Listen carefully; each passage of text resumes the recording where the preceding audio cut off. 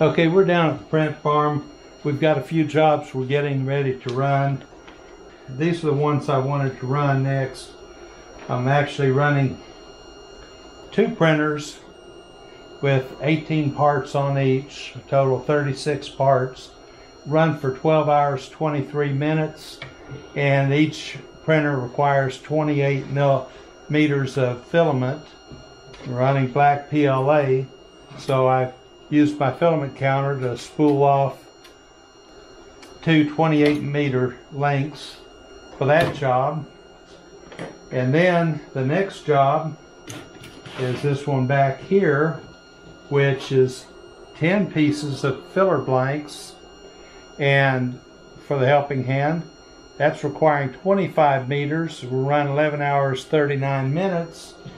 And I spooled off two lengths of 25 meters for that job.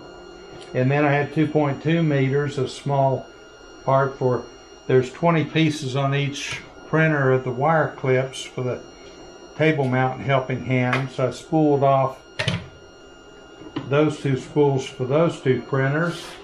And then I had a tall part job that requires 52 meters of filament.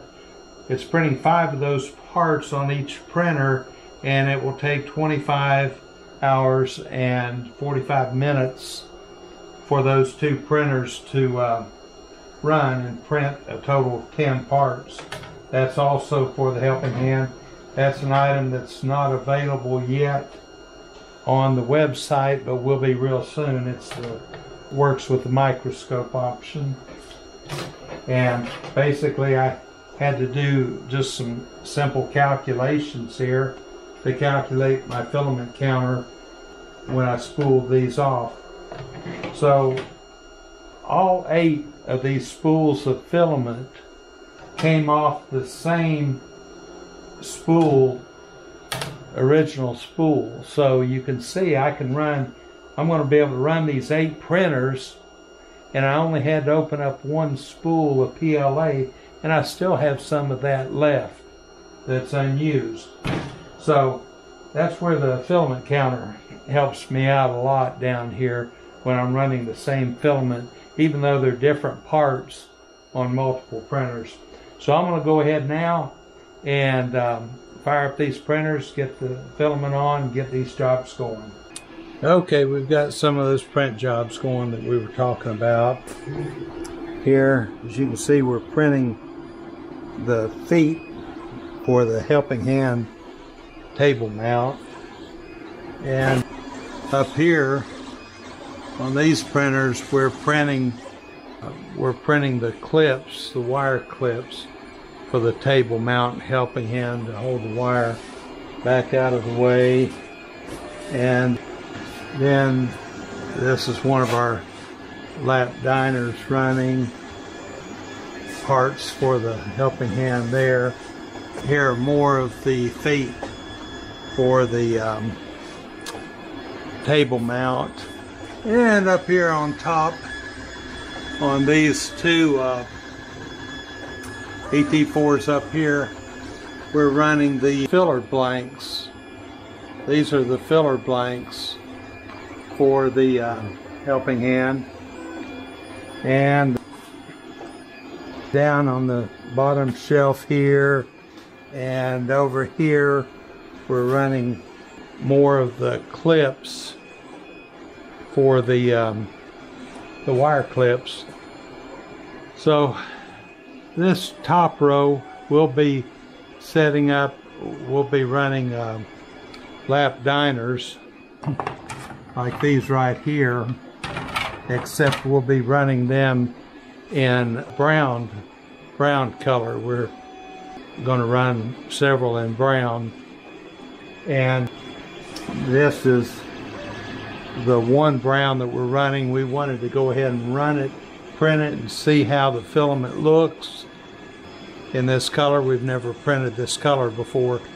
So if it works out good, then we'll fire up these six up here on the top row and have them printing lap diners in brown. So that's kind of what I've been doing this evening. I've got I've got these guys running. I've got a couple more over here that I'm going to fire up before I leave and print some stuff, get some stuff started on them. And then I'll be back tomorrow. I think, about, as I've told you before, it's not all fun and games 3D printing.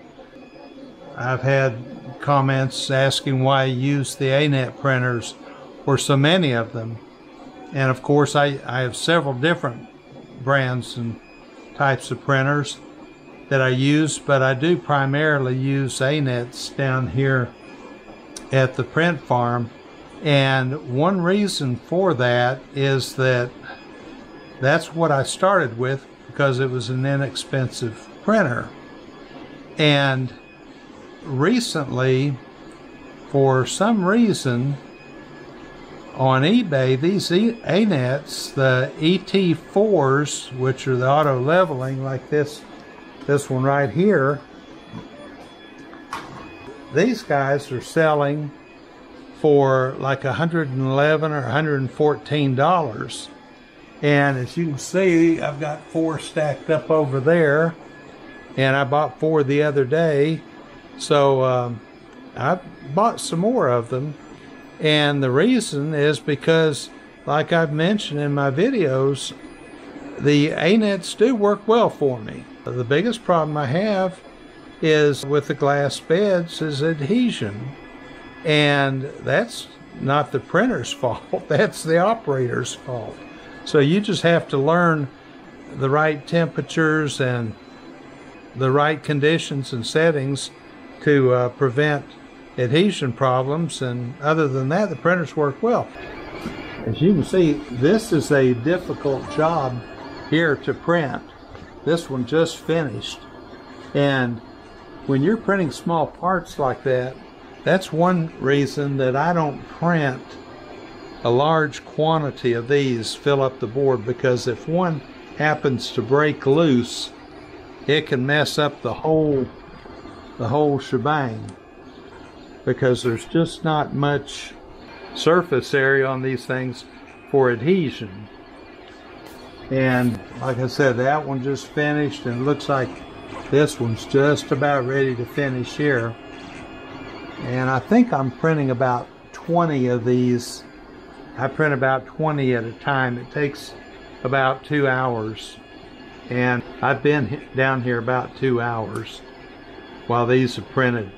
So usually when I'm down here I'll run these jobs like this where I need these small pieces and I'll be able to run them for the two hour period that I'm down here and then get my parts off and then go on. And as I mentioned I use the filament counter and let me show you what we got here. That's how much filament we have just barely, not even a full turn on the spool. So that's how the filament counter helps in running jobs. You know exactly how much filament to put on those, and I put a little bit extra because I know I have to go through the feed tube and I need a little bit to attach it to that spool to get it started. And this one, it's almost finished and probably see that spool should, I can't see, but maybe you could see, but it should be just about empty. There we go. Okay, let's take a look at it now. Yep, another empty spool. So there again, those were two of the spools that I ran off on the filament counter the beginning of the video. And that's how they work. And now I have these parts and they're this one's hot so it's sticking but once it cools off they come off real easy. I guess that's about enough for now.